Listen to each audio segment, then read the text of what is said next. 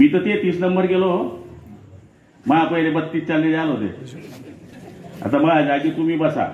तुम्हाला उदाहरण देतो. जळगाव जिल्ह्यात पाच आमदार होते. पाचमध्ये चार पळून गेले माझ्या पहिले. मी एकला राहिलो. मी नजर मारली नागपूरकडे. नागपूरच्या बी पळून गेला बुलढाण्याचे बी चालले गेले. जळगावचे बी गेले नाशिकचे बी गेले दादरच्या बी गेला ठाण्याचे बी गेले. राहिलो मी एकटा. म्हणजे नागपूर ते मुंबई मी एकटा राहिलो होतो जर गेला नसतो तर. काय केलं असतं मी? एवढे कामं झाले असते का? मी राहिलो मी एकटा. मग मी विचार केला जर चार गेले चारही खांदे गेले तर मग आग्यान काय करू? मग मी भागो. आणि मग माझ्यावर टीका सुरू झाली. काय झाडी काय डोंगर आणि ते काय गण ऐकलं लोकांनी.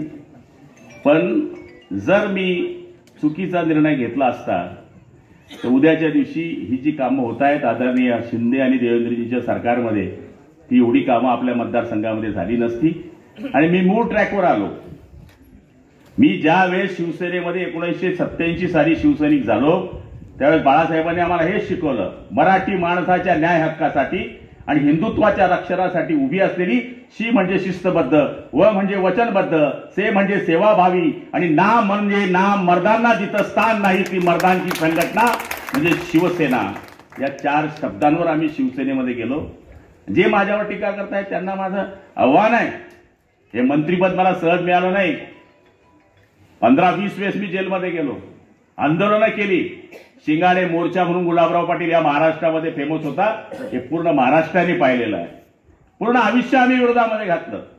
त्यावेळेस आम्ही सत्तेची लालसा केली नाही. उद्या जर हा आकडा जमला नसता मी तर मंत्रीपद सोडून गेलो होतो. आमदारी पण गेली असती आमची. आम्ही सट्टा खेळलो सट्टा. आणि हिंदुत्वाकरता सट्टा खेळलो. ज्या भगव्या झेंड्याकरता बाळासाहेबांनी पूर्ण आयुष्य वेचलं त्या भेगव्या झेंड्याला वाचवण्याकरता भारतीय जनता पार्टीबरोबर आम्ही गेलेलो आहोत. आणि हे आम्ही पाप केलेलं असेल तर लोकांनी पाप म्हणावं. पण आम्ही हिंदुत्वाच्या रक्षणाकरता या ठिकाणी शिवसेना प्रमुखांच्या विचाराला तेवत ठेवून भारतीय जनता पार्टीबरोबर या ठिकाणी पुन्हा युती केलेली आहे. आणि मला तरी असं वाटतं आम्ही पक्ष सोडलेला नाही. दुसऱ्या पक्षामध्ये गेलेलो नाही. अजूनही आमच्या पक्षाचं नाव हे शिवसेना पक्ष आहे. अजूनही आमचा झेंडा धनुष्यवान आणि झेंडा आमचा तोच आहे. त्यामुळे विरोधकांनी टीका करण्याच्या पहिले या गोष्टीचा विचार केला पाहिजे. आम्ही काँग्रेस राष्ट्रवादी बरोबर गेलेलो नाही.